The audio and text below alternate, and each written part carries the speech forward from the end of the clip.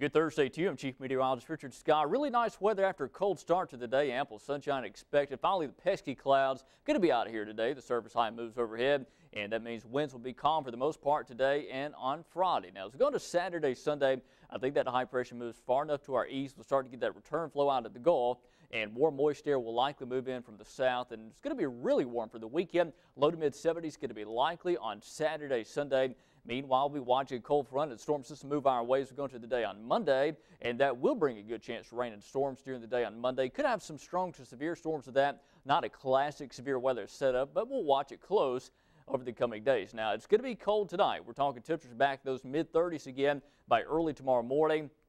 Today's temperature around 62 this afternoon. Again, a good supply of sun. Much warmer on Friday after that bone chilling start to the day. Around 70 on average. Low to mid 70s on Saturday, Sunday. Even on Monday, showers and storms are likely on Monday.